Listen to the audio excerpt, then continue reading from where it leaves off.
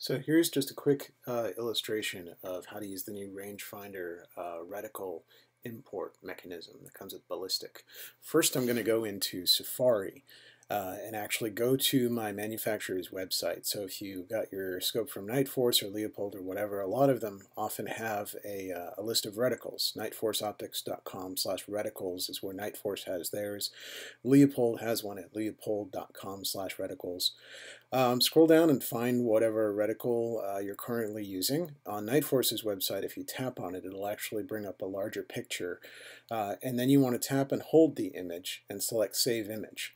That'll save it to your photo album. You want to use the biggest image you can possibly find for the best quality. Then go back to Ballistic. Um, once you're inside of uh, Ballistic, if you tap on the Rangefinder tab, uh, you'll see that there's an optics profile option there. Uh, you need to create a new optics profile, and then the first option you'll see is Image. Uh, tap on Image, and then there's an option marked Use Photo Library. Select that option. You'll find the reticle that you saved uh, in the photo album. Now you want to move the blue marker down to where the very bottom of that reticle is, where you first measure uh, your target. Um, so that's going to be the bottom line of this scope. Then I'm going to enter 5 here because this is a 5 mil reticle. It's 5 mils from the bottom to the center of the reticle. Uh, I'll set the image filter to standard. That'll help clean up the reticle image so it'll look better uh, in ballistic. Enter whatever magnification you're using.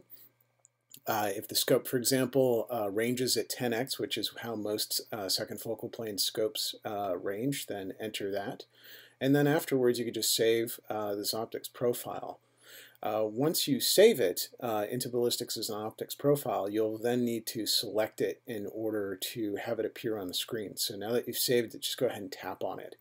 Um, and at this point, if you slide over and look, you can see the reticle that you downloaded. And as you go and adjust the, um, the size of the target um, or uh, you know adjust the, the top and, and bottom dials, you'll see um, it moving and changing inside the reticle. Now you can double tap anywhere in the rangefinder to adjust the anchor point. There are nine different anchor points where you can anchor your target.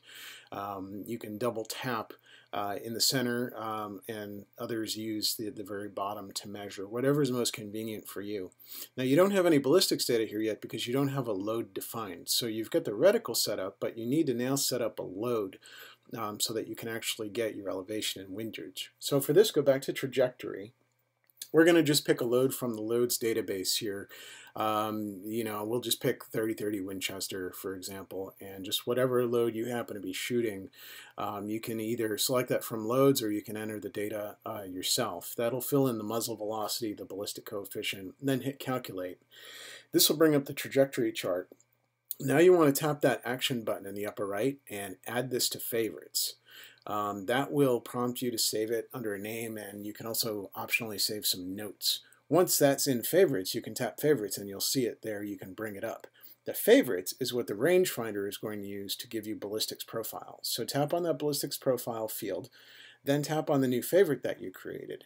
Uh, and now if you scroll back over, you can see that you've got uh, elevation, windage, you've got path in inches, MOA, uh, you can adjust the wind velocity and wind direction at the bottom, and you'll see all of this update uh, inside the, um, the reticle readout, the head-up display.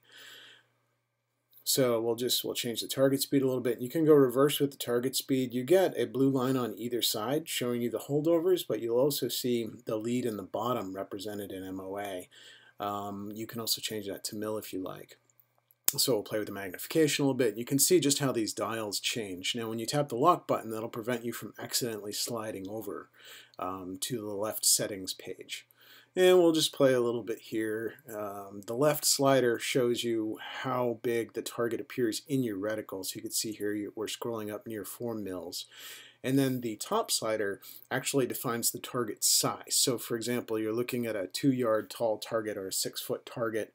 Um, you can adjust this to any size you want. Ballistic will use both of those settings to determine what your actual distance is to the target. Um, so let's go back over to settings. I'll just walk through a couple other settings. You can adjust the zero range.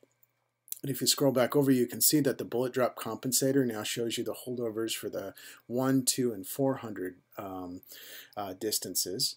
Um, if I change my shooting angle, let's say I'm shooting at a 20 degree angle, it's going to adjust the elevation um, uh, for that as well as the holdovers. Change that back. Uh, a couple other features that the rangefinder has, if you push that core location button at the top, you can see here that it's downloading the current atmosphere. It uses your GPS coordinates to figure out where you are and then downloads this information from a local uh, weather station or weather service. There are three different weather services you can specify uh, in ballistic settings. Uh, also, you can change the output if you don't want MOA. If you want uh, mil, for example, you can select the MRAD, which is mil, short for milliradians, um, and now you'll get your path and your windage uh, in mils instead of in, in uh, MOA. You can adjust for Coriolis acceleration. You tap that little location icon. It's going to grab your latitude, and then it'll give you three seconds to point into the direction uh, of your fire to set the azimuth uh, it'll again automatically correct the rangefinder uh, in order to compensate for those settings.